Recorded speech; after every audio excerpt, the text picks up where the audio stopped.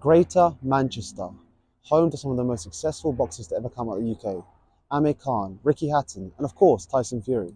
Today we meet a rising prospect who is looking to emulate these British icons and become a world champion. Alex Murphy is a 22 year old super lightweight from Salford. Since making his professional debut in August 2021, Alex has achieved an impressive record of 9 wins and no losses, and is hoping to reach 10 0 when he returns to the ring on November 24th. And 2023 has been his best year so far after appearing on two Wasserman boxing shows where the main event was broadcast live on Channel 5. But this is just the beginning. Yeah, no, it feels really good. Um, firstly, I've, I've done it in quite a short space of time. I only turned pro two years ago.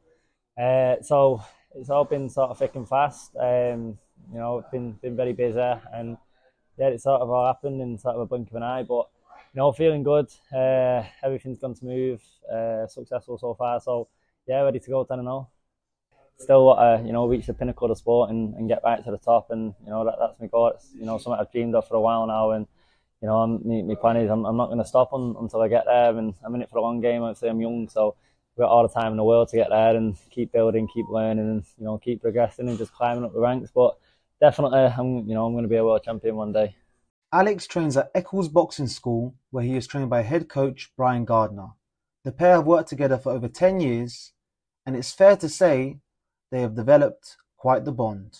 Uh, he's always been a dead polite lad, always been a pleasure to work with. He's not paid me for this either, so. um, but he's always been a pleasure to work. We've always worked really hard. Uh, like when he first came into the gym, it, it, wasn't even on the radar that he that he wanted to box or anything at first. He was, just came in to have, suppose, for a bit of uh, self defense.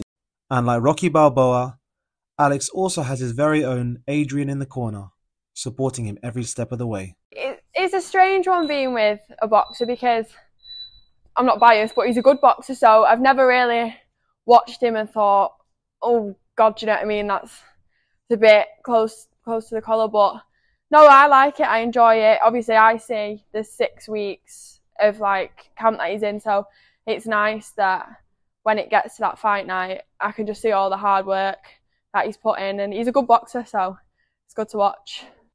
Alex is still in the early stages of his boxing career, but there is no doubting his potential. He is likely to challenge for an area title within the next 12 months, as he continues his quest to become a world champion.